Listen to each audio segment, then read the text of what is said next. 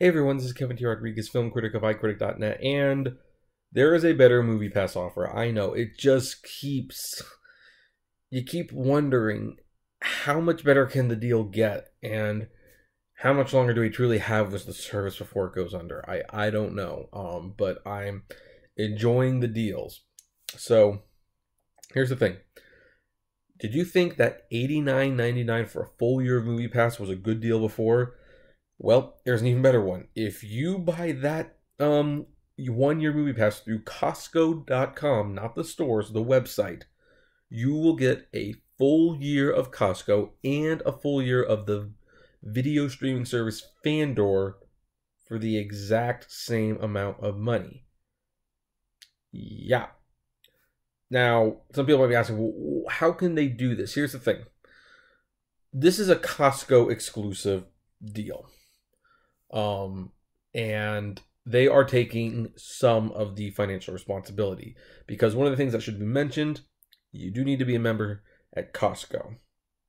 So if you go up to sign up just and you sign up for a Costco membership card just to get the deal, you might save ultimately twenty dollars. Well, actually, no, because since it's ten dollars a month, yeah, you probably still save like sixty dollars on both the services combined but you are getting a Costco membership, and that's what Costco's getting out of it. Costco is covering some of that loss for MoviePass and Fandor to sell Costco memberships.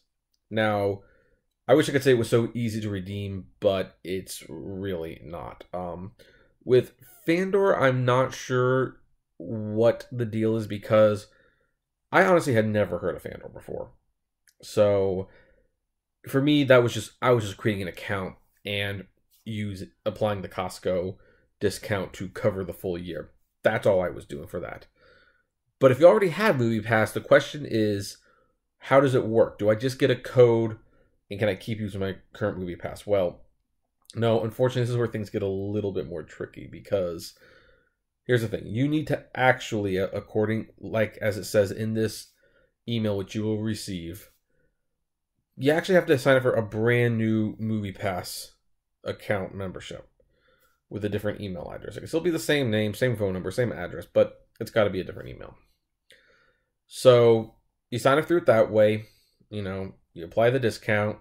You um, you know, you pay. You put in a credit card for when the thing expires. They can recharge your um account, and uh, then I guess they mail you a new card.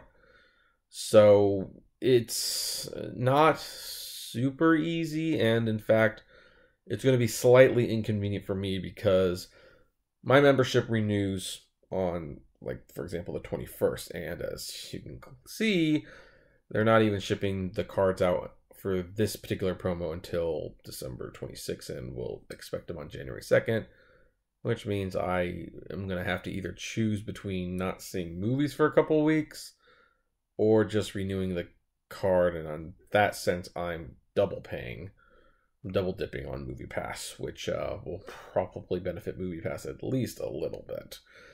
I don't know. So basically, that's how well it works. And now some of you might be asking, okay, that's nice. Um, I mean, if you're going to spend ninety dollars on Movie Pass alone, and then you get this subscription to a streaming service, that's nice. But is the streaming service even any good? And here's the thing: I haven't actually watched it, but I have to say um, before I made this video, I was looking through it, and, and, just for full disclosure, no one's paying me to make this video. Um, but I have to admit, this site is pretty cool. I mean, it actually has shorts on the site. There's documentaries and foreign films, a lot of independent films, stuff that Netflix would probably never put on. And it just goes, it's kind of a reminder that you do need different sites for different kinds of movies. Netflix is nice, it obviously is, but as they get bigger and as they get more mainstream, they're not so concerned with buying the independent films or the shorts or the documentaries. They would rather save that money for their own content and you know big name content like i i'm honestly kind of surprised netflix didn't make an offer to buy 20th century fox um, to be honest because like they they're kind of heading in that direction like you know did it maybe they just didn't have the money i, I don't know but um yeah. So, but it's nice to have these other sites that has the stuff that Netflix and Hulu and soon Disney won't won't touch at all. So the question, of course, remains should you get a Costco membership just for this deal? And of course, the answer is no.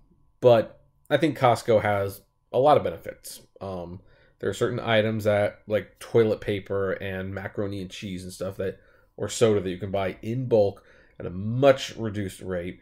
And of course, their gas. Their gas is consistently 20 to 30 cents cheaper per gallon.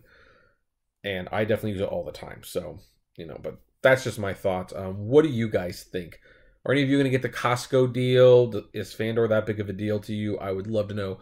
Comment below, like, favorite, share, subscribe. If you enjoy the videos consider becoming a Patreon member for $1 a month. And as always, flame responsibly. Have a good one.